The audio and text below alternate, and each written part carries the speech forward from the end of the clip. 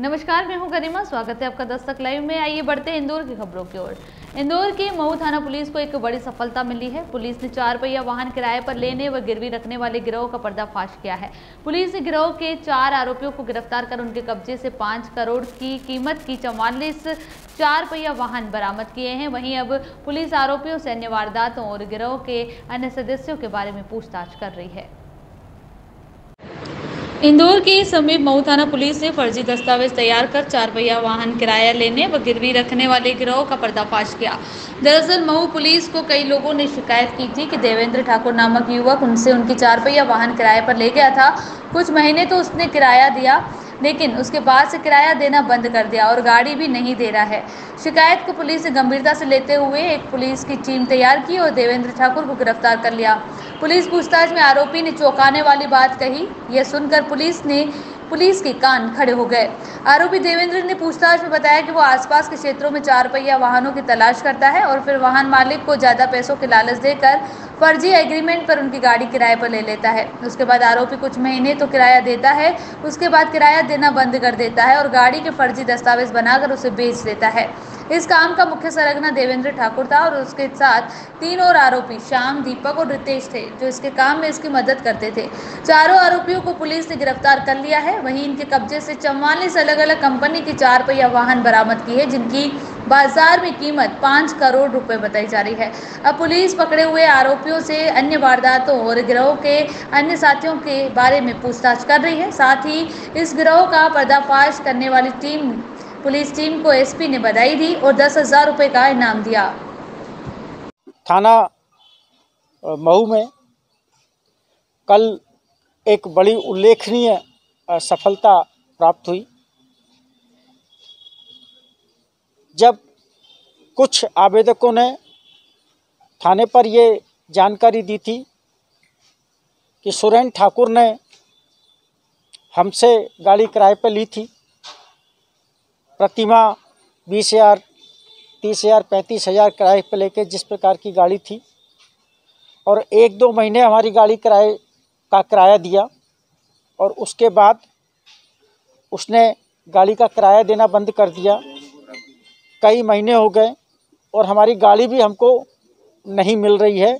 ना हमारी गाड़ी वापस कर रहा और ना ही किराया दे रहा।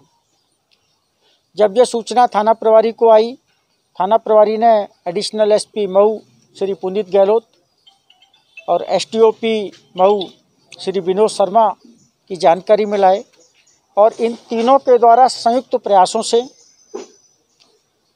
थाना प्रभारी मऊ श्री दिलीप पुरी और उनकी टीम के द्वारा जब सुरेंद्र ठाकुर को पकड़ा गया और गाड़ियों के बारे में पूछताछ किया गया तो जो जानकारी आई वो बड़ी आश्चर्यजनक थी। हमारे पास इनिशियली दो फरियादी थे।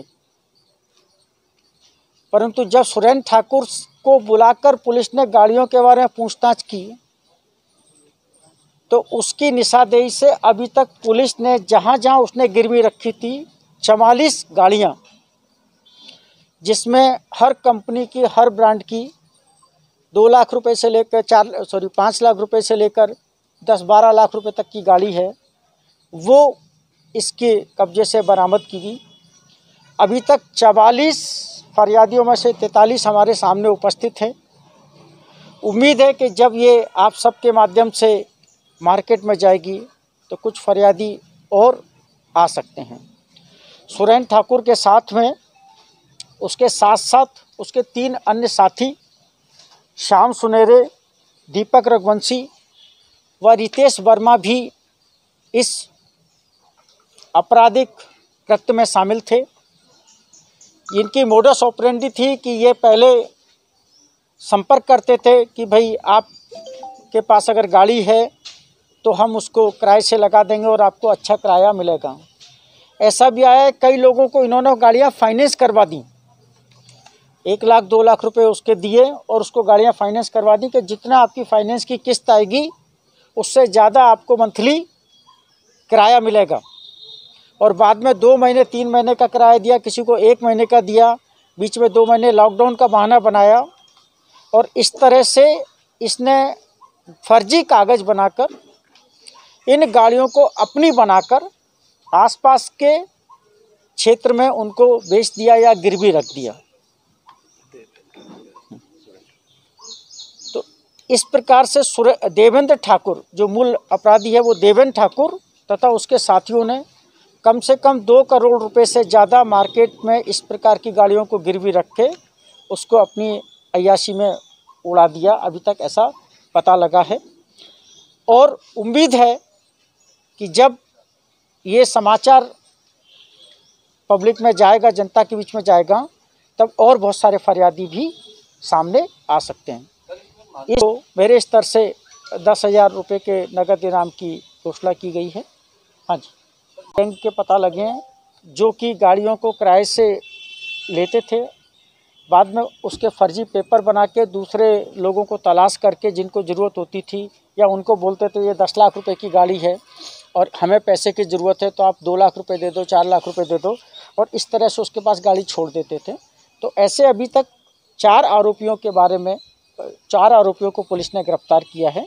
और जैसे मैंने बताया कि ये डेवलपमेंट है, आगे चल के इसमें और गाड़ियाँ या और आरोपियों की संलिप्तता भी सामने आ सकती है।